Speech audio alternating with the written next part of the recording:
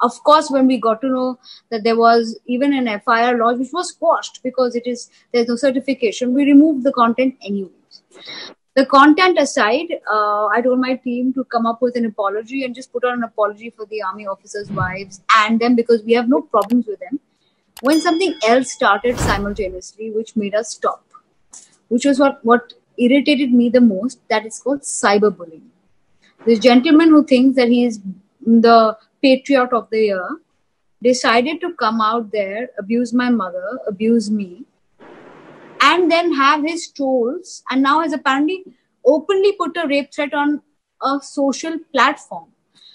Um, this is now no longer about the army uh, or sexual content because the irony of it is you're saying that you want to rape a girl and rape her son and rape her mother, her 71 year old mother, for making sexual content. Means sex is bad, but rape is okay. So I actually wanted to tell you this, uh, Shobha. Yeah. Ma'am, I would have said the apology a long time ago. It's no big deal for me. I mean, it's the smallest thing to do. Because respecting the army is not even a, I mean, it's a part of what I do. It was a fictional character, it was a mistake and a slight on our side, which we rectified. I know. But clearly, now I have decided to take the route of actually standing up to this cyberbullying. I'm so happy you've done that. Don't Yeah. there will be if they can decide to take my nudes out, put out my nudes on the net, call me Randi, then tomorrow they can do this to any girl.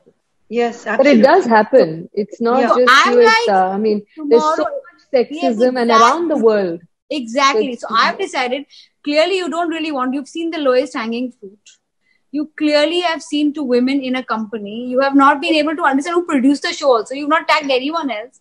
And you want to rub my nose on the ground. Well, you're not getting a chance. और भी खबरों के लिए subscribe करें गपशप तो